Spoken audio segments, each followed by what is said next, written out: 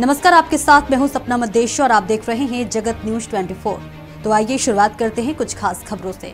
पानसिमल बड़वानी जिला कलेक्टर के आदेश अनुसार पानसिमल विकासखंड के निजी विद्यालयों में बीईओ अरुण मिश्रा, जनपद शिक्षा अधिकारी जितेंद्र बाविस्कर एवं शासकीय बालक उत्कृष्ट उच्चतर विद्यालय की प्राचार्य द्वारिका आदि निजी शालाओं में निरीक्षण करने पहुँचे थे।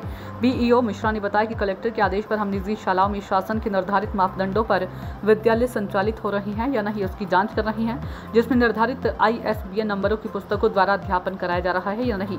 साथ ही पालकों को गणवेश एवं पुस्तकें लेने किसी दुकान से खरीदने बाध्य तो नहीं किया जा रहा। निर्धारित शुल्क से अधिक शुल्क तो नहीं लिया जा रहा। इत्यादि आवश्यक जाँच कर जानकारी जुटाई जा रही है।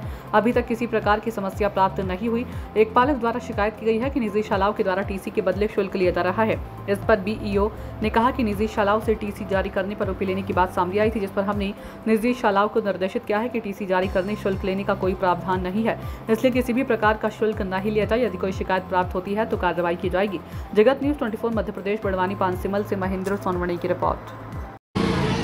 सर आज शालाओं का भ्रमण किया गया। जिला कलेक्टर महोदय बड़वानी के निर्देशानुसार अ, विकासखंड अंतर्गत संचालित निजी शालाओं में आईएसबीएन नंबर वाली पुस्तकों के संबंध में साथ ही छात्रवृत्ति व फ़ीस और गणवेश आदि को लेकर के जाँच के निर्देश दिए गए हैं जिसके तहत हमारे द्वारा विद्यालयों निजी विद्यालयों में आईएसबीएन नंबर की पुस्तकों द्वारा अध्यापन कार्य कराया जा रहा है अथवा नहीं, इसकी जाँच की जा रही है।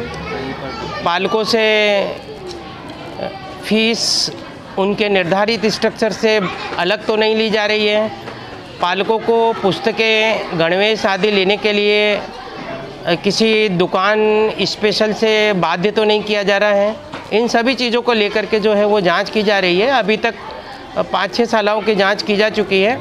जिनमें किसी भी प्रकार से आईएसबीएन नंबर बिना आईएसबीएन नंबर या डुप्लीकेट आईएसबीएन नंबर की पुस्तकें हमें अभी तक प्राप्त नहीं नहीं हुई हैं।